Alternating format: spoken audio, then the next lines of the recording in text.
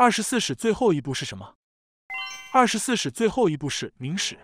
明史》共三百三十二卷，是一部纪传体断代史，记载了自明太祖朱元璋洪武元年至明思宗朱由检崇祯十七年时期的二百七十六年历史。